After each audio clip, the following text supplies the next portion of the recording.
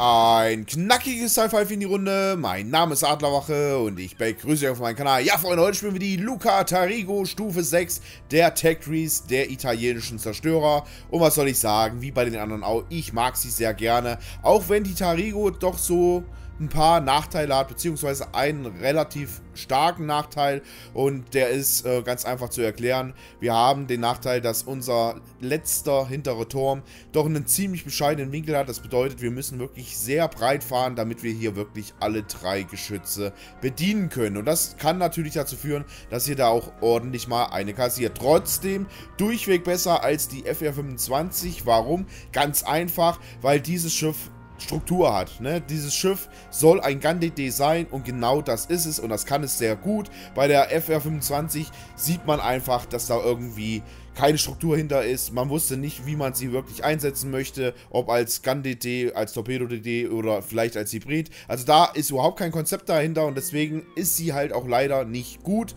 Und bei der Tarigo, wie gesagt, ist das Konzept da. Sie ist ein Gun-DD, ähm, kein einfacher Gun-DD, das sage ich auch ehrlich dazu, aber sie ist ein Gun-DD und die Aufgaben kann sie wirklich gut bedienen. Gut, Freunde, dann würde ich sagen, kommen wir erstmal zum geschichtlichen Teil. Keine Sorge für die Geschichtsmuffel, die, sind, die ist wirklich sehr, sehr kurz, weil zur Tarigo ist leider nicht sonderlich viel bekannt. Die Kiellegung war am 30. August 1927 und die Dienststellung am 16. November 1929. Sie war 107,3 Meter lang, 10,2 Meter breit und hatte eine Gesamtverdrängung von 2621 Tonnen. Die Luca Tarigo gehörte zur Navigatori-Klasse, davon wurden zwölf Schiffe gebaut. Leider ist zur Tarigo nicht viel bekannt. Die Klasse wurde anfangs als Erkunder bezeichnet, da sie nur für Aufklärungsaufgaben vorgesehen waren. Ab 1938 wurden sie allerdings dann als Zerstörer klassifiziert, da Aufklärungsaufgaben dann von Flugzeugen übernommen wurden. Benannt nach dem Seefahrer und Entdecker, äh, Entdecker Luca Tarigo, 14. Jahrhundert, der Zerstörer sicherte vom 17. Dezember 1930 bis zum 15. Januar 1931 im Südatlantik den Formationsflug Balbos von Italien nach Brasilien. Die Luca Tarigo nahm von 1936 bis 1938 am Spanischen Bürgerkrieg teil, während eines Geleitzugeinsatzes am 16. April 1941 von britischen Zerstörern versenkt, versenkte jedoch noch den Zerstörer HMS Mohawk. Mehr ist leider zu diesem wunderschönen Schiffchen nicht bekannt. Sehr schade, ne? ich hätte gerne ein bisschen mehr gesagt, aber wie gesagt, leider ist zu ihr nicht mehr bekannt. Was ich halt sehr geil finde, so eine Anordnung an den Geschützen, gleich auch noch als Zwillingstürme, ne, das sieht schon cool aus. Also das hat man so auch noch nicht gesehen. Mag ich total gerne. Gut, Freunde, schauen wir uns einfach mal an, was ich so in die Bude eingebaut habe. Als allererstes habe ich logischerweise das Zielsystem Mod 1 drin. Als zweites habe ich hier wieder den Antriebsmod 2 drin. Das ist bei den Italienern wirklich vom Vorteil, weil sie wirklich eine gewisse Zeit brauchen, bis sie auf Fahrt kommen weil äh, eine Ruderstellzeit haben sie von Haus aus wirklich eine gute. Dann haben wir hier Tarnsystem Mod 1 drin und die drei Sachen, die man so oder so einbaut, also Torpedos 533 mm, dann Zielauswahlsystem SDT7 Mod 2 und zum Schluss den Rumpf B. Kommen wir zur Ausrüstung, wir haben dabei Schadensbegrenzung, wir haben logischerweise den Abluftnebler, äh, Abluftnebler, den Abluftnebelerzeuger, Wirkungsdauer 31,8 Sekunden, Dauer der Nebelwand 10,6 Sekunden, Nachladezeit 120 Sekunden, vier Stück dabei. Und wir haben hier viermal dem Motorboost, Höchstgeschwindigkeit plus 25% Wirkungsdauer, leider nur 26,8. Ich hoffe, dass da wirklich Wargaming nochmal ein bisschen nach verbessert. Äh, Nachladezeit 115,7 Sekunden und wie gesagt, vier Stück dabei. Spezifikation sind wir ja gestern schon bei der, oder vorgestern bei der FR25 durchgegangen. Überleben haben wir hier 24 Punkte, 15.700 Panzerung, 6 bis 16 mm, also nicht so viel. Artillerie haben wir hier 3x220 mm. Ich muss ehrlich sagen, die 120 mm bei äh, DDs mag ich wirklich am liebsten. Feuerreichweite 10,5 Kilometer, Nachladezeit 5,4 Sekunden, Dauer von 80 Grad Kehre 12,9 Sekunden. Sprenggranaten Höchstschaden 1000 1921, Brandwahrscheinlichkeit 7%, SAV-Granaten Höchstschaden 2938. Torpedos haben wir hier 2x3 533 mm, Nachladezeit 70 Sekunden, Dauer von 80 Grad Kehre 6 Sekunden, Höchstschaden 10.000, Torpedo-Erkennbarkeit zur See 1,1 Kilometer, Torpedo-Reichweite 10 Kilometer, Torpedo-Geschwindigkeit 56 Knoten. Ja, ihr merkt schon, ne? wir haben ja die FR25 auf Torpedos geskillt gehabt und haben die gleiche Nachladezeit. Klar, sie hat einen besseren Schadensoutput, was die Torpedos angeht, also die FR25 und auch äh, schnellere Torpedos Aber sonst würde ich ganz ehrlich sagen, sind die Torpedos von der Tarigo doch tausendmal interessanter. Ne? Wir haben 10 Kilometer Reichweite, das ist sehr geil. Klar, sie sind langsam mit 56 Knoten, dafür mit 1,1 Kilometer gehen sie recht spät auf. Und 10.000 Schaden, klar, ist jetzt nicht der Höchstschaden, ähm, den wir so kennen auf T6, aber damit lässt sich auf jeden Fall gut arbeiten. Flugabwehr, 17 Punkte. Äh, Manövrierfähigkeit 85 Punkte, 36,9 Knoten, Höchstgeschwindigkeit 610 Meter, Wendekreisradius und 4 Sekunden Ruderstellzeit. Tarnwert, ihr wisst, die Italiener haben einfach keinen guten Tarnwert, brauchen sie aber auch ehrlich gesagt nicht. 6,5 Kilometer zum Wasser, 3,3 zur Luft und eine garantierte Erkennbarkeit von 2 Kilometern. Ja, Panzerung brauchen wir uns nicht angucken. Übersicht haben wir hier Abluftnebelerzeuger, kann eine Nebelwand legen und in dieser bei voller Geschwindigkeit verborgen bleiben, das stimmt. Äh, ist oder kann mit SAP-Granaten ausgerüstet werden, die konsistenten Schaden verursachen, selten abprallen, aber keine Brände entzünden können, das stimmt auch. Sichtbar unter der durchschnittlichen Verborgenheit, das Schiff ist für Gegner eher sichtbar. Das stimmt auch. Gut, ich habe hier logischerweise wieder den Luigi Rizzo drauf. Als Inspiration habe ich Vincent Mordov und Erich Bay. Und Vincent Mordov, um einfach nochmal die Nachladezeit runterzudrücken. Man könnte hier aber auch den Sims draufknallen, damit man einfach den Nachteil von dem relativ wenigen Leben nochmal ausbessert und sie dann halt einfach nochmal ein bisschen mehr TP hat. Das geht auch. Also man kann es skillen, wie man möchte. Wie gesagt, wichtig ist einfach nur, dass hier wirklich den Fokus eher auf die Gans liegt, weil wie gesagt, dafür ist sie halt bekannt. Wir haben hier aufmerksamen Zorn, ne, um die Nachladezeit nochmal zu reduzieren, die Erkennbarkeitsreichweite von Torpedos zu erhöhen und eine Ruderstellzeit, ja, die wird dann leider um 10% verschlechtert, was man aber wirklich nicht merkt. Man merkt es wirklich nicht. Ne? Also wir haben jetzt hier 10% Verschlechterung drin, wenn wir die rausmachen. Ähm, ihr wisst ja, ne, die ähm, FR hatte trotzdem eine schlechtere Ruderstellzeit, obwohl sie keinen aufmerksamen Zorn drin hat. Doch, wir hatten sie ja mit dem Luigi Rizzo äh, drauf gemacht. Okay, alles gut. Aber äh, merkt man bei ihr mit den 10% ehrlich gesagt nicht. Dann habe ich hier Mörser drauf, ne, um den Schaden nochmal zu verbessern. Äh, ja, dafür verlieren wir dann halt 4% Erkennbarkeit. Dann habe ich hier 1000 Schnitte, um die Nachladezeit der Hauptgeschütze nochmal zu verbessern. Ich muss aber ehrlich sagen, es ist immer ein bisschen doof, dass man dann halt wirklich blind ist. Ähm, aufmerksam ist da im Großen und Ganzen schon deutlich wichtiger.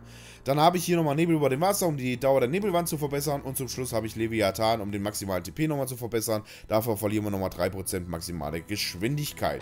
Gut, Freunde, das soll der Infoteil zur Luca Tarigo sein. Und dann würde ich sagen, sehen wir uns mit dem Schiff gleich wieder im Gefecht. Bis gleich! So, Freunde, willkommen auf der Luca Tarico. Wir sind hier Kampfzone Herrschaft unterwegs. Begleitet werde ich von Tannenberg in seiner Ark Royal und Enemy in seiner Polterbar. Wir haben eine Ranger, Scharnhorst, Wars bei B, Bayer, Mackensen, Benson, Benson, Icarus und Avire im Gegnerteam. Bevor es jetzt hier natürlich losgeht, haue ich wieder direkt die Holy-Werbung raus. Diesmal wieder mit dem Probierpaket, damit ihr selber entscheiden könnt, welche Sorte euch zusagt und welche eher nicht. Nehmt die Codes mit, spart euch ein bisschen was, probiert's und seid glücklich. So, Freunde, hier seht ihr halt nochmal in aller Ruhe die Aufstellung habe ich nochmal extra für die etwas langsamen unter euch nochmal aufgezeigt. ja, und dann schauen wir uns in aller Ruhe mal die Tarigo an. Also Tarigo hat, wie gesagt, einen wirklichen Nachteil. Das ist die Turmanordnung, also ähm, der Schusswinkel, damit ihr wirklich hier alle drei Türme benutzen könnt, ist leider wirklich nicht gut. Dafür ist sie recht wendig, das muss ich wirklich sagen. Ne? Sie ist schön Sie kann schön mit dem Schwänzchen wackeln. Das gefällt mir wirklich gut. Das ist halt auch Pflicht bei einem Gun-DD. Ein Gun-DD muss einfach agil sein. Ähm, sonst hat er halt wirklich massive Probleme. Wir werden jetzt hier direkt schon Richtung B fahren, weil B ist eigentlich immer so der Spot, wo keiner wirklich hin will. Deswegen schauen wir uns in aller Ruhe mal B an. Und schauen mal, ob wir B eventuell auch einfach einnehmen können. Nachteil war mit der Tarigo bislang, dass ich halt wirklich immer in Runden reinkam, die halt wirklich sehr schnell entschieden waren, wo man halt wirklich nicht so richtig die Performance rausholen kann. Das finde ich immer sehr schade. Aber das war hier eine Runde, die wirklich an sich sehr, wie soll ich sagen, nicht ausgeglichen von den Membern her war, aber ähm, man konnte halt wirklich mal sehen, was die Tarigo so kann. So, da ist schon die Icarus. Gehen wir natürlich direkt mit SAP drauf. 9 Kilometer, ja, da müssen wir halt mal gucken, dass wir da auch wirklich was treffen. Ja, eine Granate hat er nur getroffen. Weil ihr seht, der, der Feuerbogen, der ist halt recht hoch bei den Italienern. Also es dauert, bis die Granaten da wirklich einschlagen. So, komm schon. Und wenn wir da halt überlegen, ne, dass wir mit einer Granate hier 970 Schaden machen und bei der FR 25 mit einer Granate dann meistens so bei 300 mit SAP lagen oder 200. Also das ist schon ein Unterschied. Ne? Zack, gibt es hier nämlich dann auch nochmal 2000 ins Gesicht. Also die SAP von der Tariko fühlt sich um Welten besser an als die von der, ähm, von der FR 25. Also das sind wirklich Unterschiede von Tag und Nacht.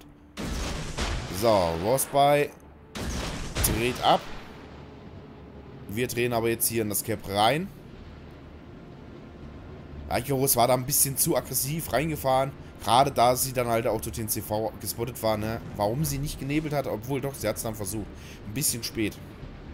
Das hätte sie eventuell doch früher machen müssen. Man sieht ja die Flugzeuge auf der Minikarte. Ne? Einfach mal auf die Minikarte gucken und wenn da wirklich die Flugzeuge aufleuchten und man sieht, alles klar, die fliegen in meine Richtung, dann einfach frühzeitig einnebeln.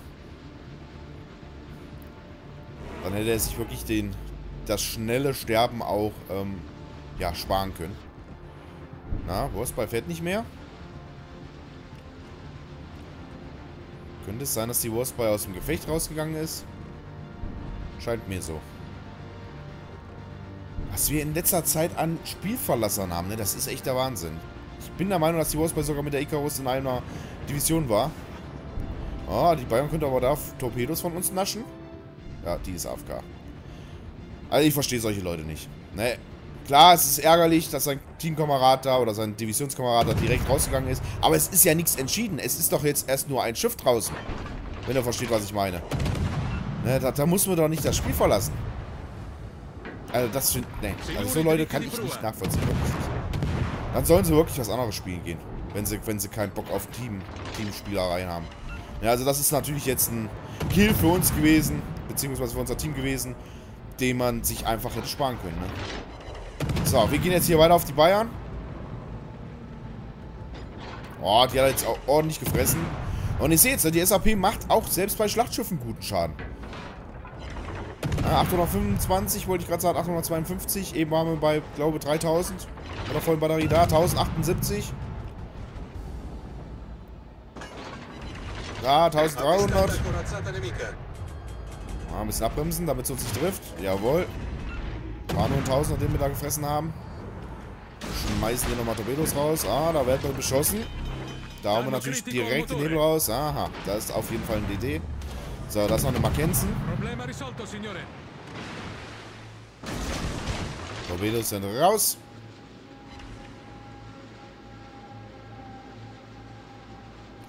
Was ich ja schon immer wieder sagte, was ihr bei den Italienern halt nicht erhoffen solltet, äh, dass ihr durchweg hohen Schaden macht. Da, dafür sind sie einfach nicht konzipiert. Ne?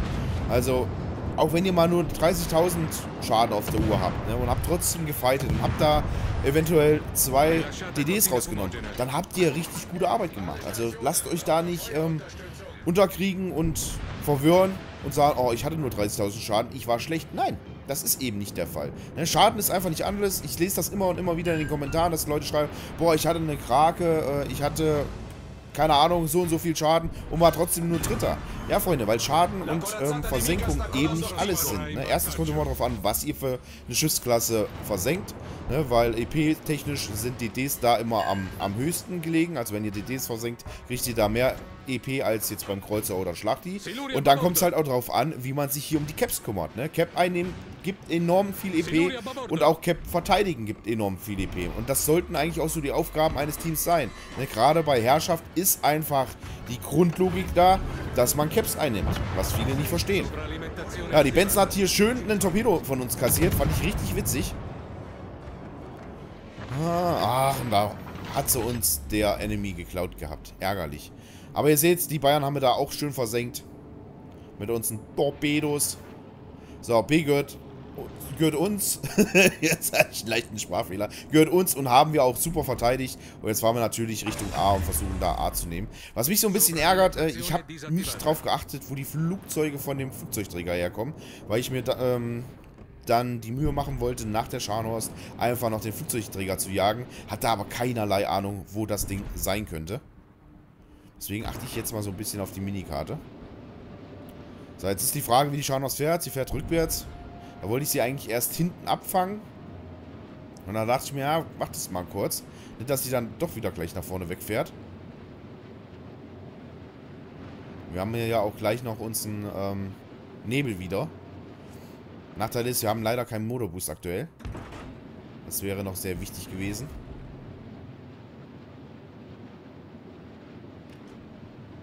Na, komm schon. Ja, sie ist auf jeden Fall nicht im Cap drin. Aber, wie ich sagte, sie fährt dann halt wieder nach vorne. Aber dreht auch schon wieder weg. Also Torben wird schwierig. Torben wird wirklich schwierig. Ja, da hätte ich vielleicht noch mal ein paar Sekunden mit dem Nebel warten sollen.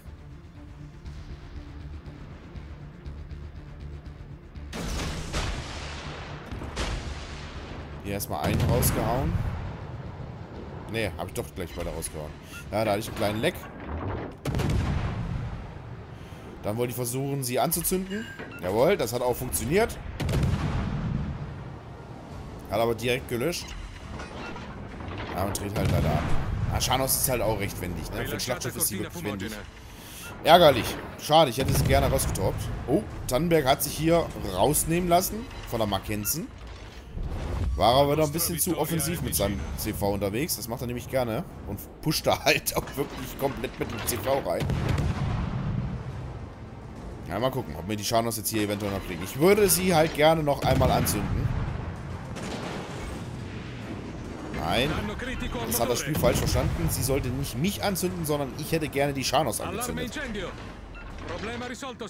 So, komm schon.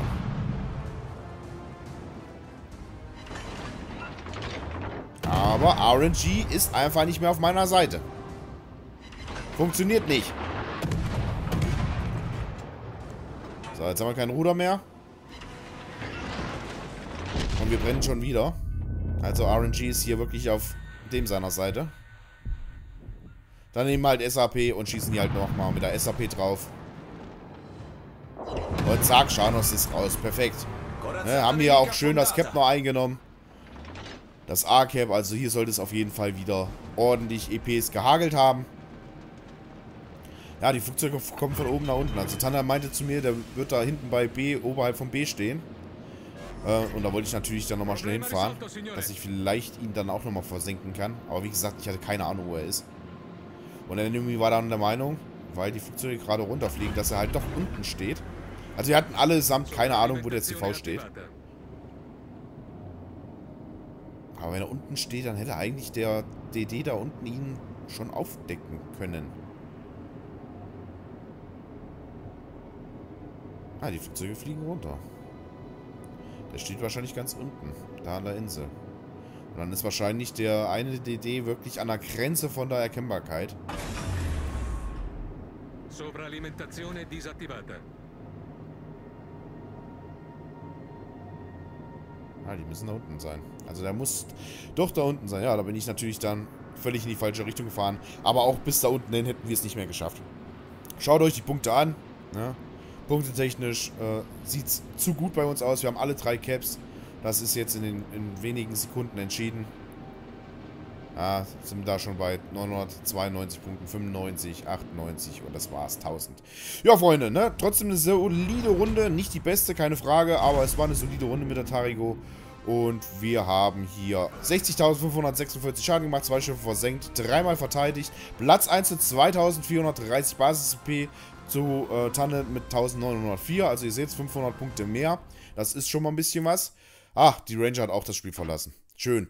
Und dann noch 188.166 Credits plus gefahren. Fazit zum Schluss. Tarigo ist nach wie vor auch ein schönes Schiff. Ähm, genauso wie die restliche Linie passt sich da wirklich super an. Nachteil ist natürlich der hintere Turm, den sie hat, dass der vom Winkel her nicht so schön ist, dass man wirklich viel breit fahren muss, damit man hier wirklich alle drei Türme benutzen kann. Das finde ich ein bisschen Schade, das ist wirklich ein Nachteil von ihr, aber trotzdem auf jeden Fall ein solides Schiff. Kann man sich definitiv in den Hafen stellen und mir persönlich gefällt sie auch um Welten besser als die FR25. Gut, Freunde, dann würde ich sagen, sehen wir uns die Tage wieder. Es sind ja jetzt nur noch, glaube genau, den Vierer müssen wir noch vorstellen und den Dreier, also noch zwei italienische DDs und dann sind wir mit der Linie auch soweit durch. Dann wünsche ich euch auf jeden Fall noch eine angenehme Woche.